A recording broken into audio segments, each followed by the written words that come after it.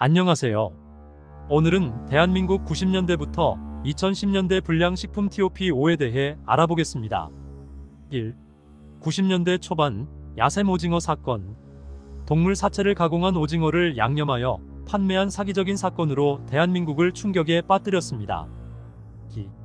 90년대 중반 분유 사기 사건 인기 있는 유아용 분유의 건조 우유가 혼합된 사건이 발생하여 아동 건강에 위협을 안겼습니다. 3. 2000년대 초 기생충 담배 사건.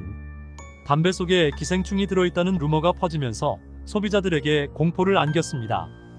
4. 2000년대 후반 곰팡이 떡 사건. 병원 감염 위험성이 있는 곰팡이가 발견된 떡으로 인해 소비자들의 건강에 대한 우려가 커졌습니다. 5.